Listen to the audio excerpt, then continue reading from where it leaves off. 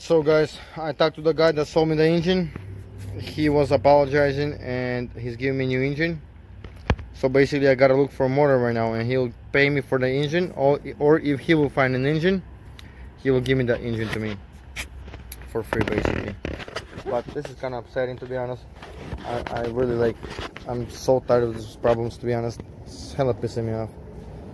So I just want to go to the lake right now with my family. I don't want to work right now. I don't want to do nothing right now even though I gotta polish this car right here but I'm just eating ice cream and just kind of upset to be honest. I don't know. I'm not even upset. I don't want to get upset.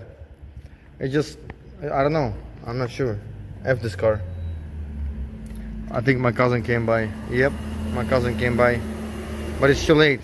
He was gonna help me out. See what's going with the engine but I already pulled it out. Hey bro it has metal flakes in the in the oil. It's too late. Metal flakes in oil bro. That's it. Seriously. Yeah yeah it's so bad. It's done. There's no not even point to even look through it. It's knocking basically. All right guys. I'm done